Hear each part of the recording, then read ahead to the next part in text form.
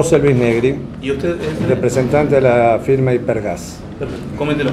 Sí, bueno, esto es un paso importante, como decía acá el ministro, el efecto de llevarle tranquilidad a la gente, de que va a tener acceso a la garrafa de gas a un precio de referencia acorde a, a lo que se maneja en el mercado. Creemos que es un precio muy, muy importante en su valor, dado que Permanentemente estamos sufriendo incrementos este, en nuestros costos, pero bueno, decidiendo con la política que hemos tenido siempre, las tres empresas, estar cerca del gobierno y a su vez estar cerca de la gente que más lo necesita, hemos acordado este valor para que tenga acceso eh, la gente que pueda llegar a necesitarlo.